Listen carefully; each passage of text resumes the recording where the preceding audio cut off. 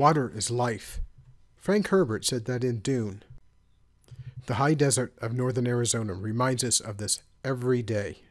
Our off grid water system is our lifeline.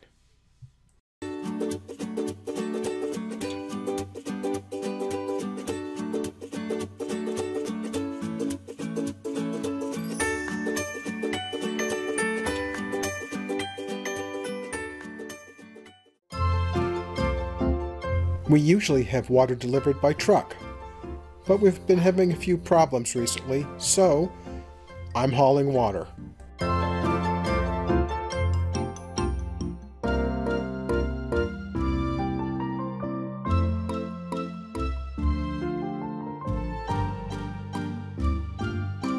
Wasps need water too.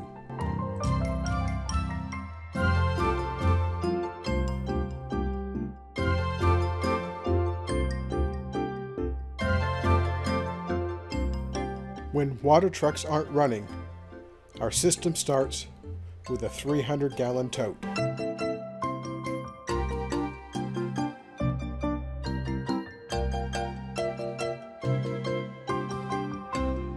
There's a temporary pump hiding under the bucket. This can only pump about 3 gallons a minute, so it takes something on the order of an hour and three quarters to pump the tank.